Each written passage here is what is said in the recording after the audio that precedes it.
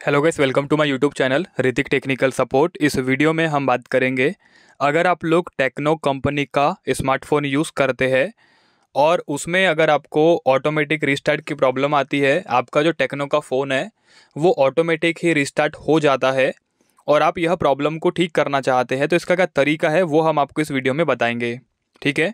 Video start करने से पहले आप लोग हमारे यूट्यूब चैनल को सब्सक्राइब कर लीजिएगा बिल्कुल के आइकन को प्रेस कर लेना है। तो देखिए, सिंपल सा एक मेथड आपको यहाँ पे यूज़ करना है, जिससे आप यह प्रॉब्लम को हंड्रेड परसेंट ठीक कर सकते। हैं ठीक है? तो फ़र्स्ट ऑफ़ ऑल आप अपने टेक्नोफोन की सेटिंग्स में जाइएगा और यहाँ पे आपको क्लिक करना होगा सर्च बार पे और यहाँ पे आप लोग सर्च करिएगा रीसेट। ठीक है? जैसे ही आप लोग रीसेट सर्च करेंगे, आपको यहाँ पे एक ऑप्शन मिलेगा रीसेट फ़ोन का, इस पर क्लिक करिए। क्लिक करने के बाद आपको आपके टेक्नो फ़ोन का जो आल सेटिंग्स होता है ना, उस पर क्लिक करना होगा और आपको आपके टेक्नो के फ़ोन का जो आल सेटिंग्स होता है, उसे रीसेट करना है। ठीक है? इसमें होगा क्या? जो भी गलत एक्टिविटी की वजह से आपको ये प्रॉब्लम आ रही थी, सब कुछ डिफ़ॉल्ट हो जाएगा और आपकी ये प्रॉब्लम भी ठीक हो जाएगी। और आल सेटिंग्स को रीसेट करने से आपका टेक्नोफोन का कोई भी डाटा डिलीट नहीं होगा तो आपको निश्चिंत रहना है। ठीक है?